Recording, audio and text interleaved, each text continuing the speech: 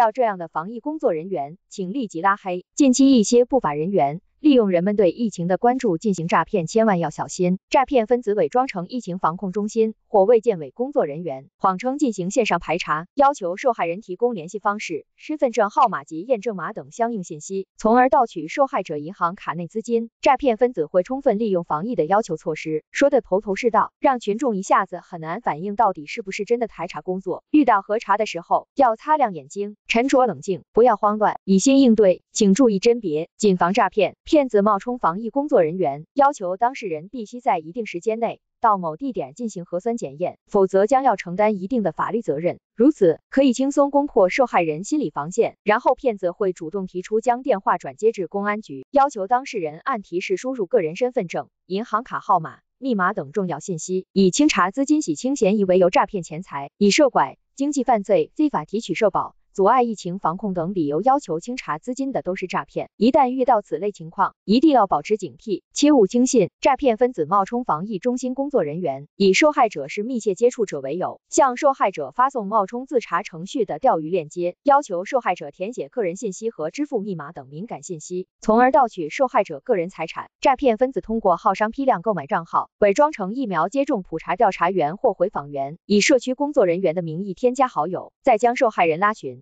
群内发布刷单、赌博等违法违规信息，最终被做热舞拿返利的诱惑，落入刷单诈骗。大家要提高警惕，勿心存侥幸。此外，骗子多通过手机号码添加好友，一定要注意保护个人信息。聊天群里出现快速出核酸检测结果，加急最快半个小时。家里也能做核酸检测的信息，只要额外付费便能办到，都是骗钱的套路。不要轻信网络不实信息和所谓私人渠道，这不仅可能影响自身正常出行，更有可能落入不法分子非法敛财的骗局。诈骗分子冒充公司人士。财务部门或通过邮箱向公司员工群发邮件，称现根据国家政策发放工资补贴，需及时扫码登记领取，将被害人引流至钓鱼网站。被害人在钓鱼网站中填入银行卡号、银行卡密码、验证码等资料后，对被害人的银行卡实施盗刷。对于主动联系您的，一定要心存戒备，并拨打官方电话进行核实。